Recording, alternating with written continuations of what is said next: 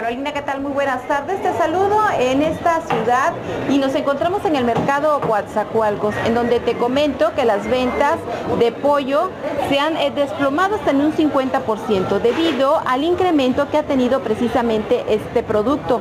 Quienes comercializan el pollo señalan que actualmente el kilo se llega a comercializar entre 140 y 150 pesos.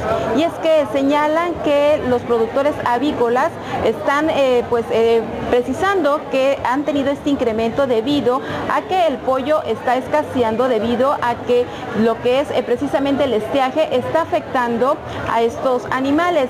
De ahí deriva que desde hace dos semanas venga incrementando de 50 centavos en 50 centavos el precio de este producto. Señalan que pues si la gente anteriormente se llevaban un pollo entero, en la actualidad únicamente se llevan medio pollo o hasta tres cuartos de pollo debido a los incrementos que se han tenido al menos en las últimas dos semanas. El reporte que tenemos en esta tarde en el sur de Veracruz. Regreso contigo al estudio. Muy buenas tardes.